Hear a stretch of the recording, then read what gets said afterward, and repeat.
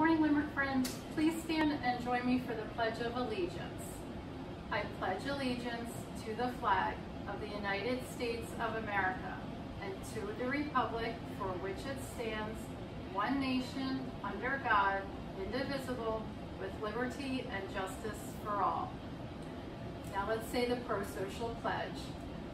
Today I will do my best to be the best. I will listen, I will follow directions, I will be honest, I will respect the rights of others. I can learn, I will learn.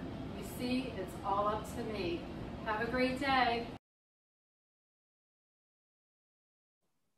Hello and welcome, Limerick, to Daily Announcements for Thursday, September 24th, 2020.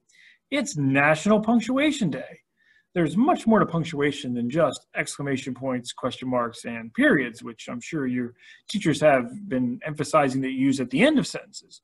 Today's also a day to appreciate the punctuation that can happen with within our sentences, things like commas and semicolons and colons and dashes and um, hyphens and uh, quotation marks and apostrophes and parentheses and um, ellipses and asterisks and slashes and um, brackets and um, scanning my keyboard for other things that might be punctuation. Well, pretty much anything that you know you use to add some some character to your sentences.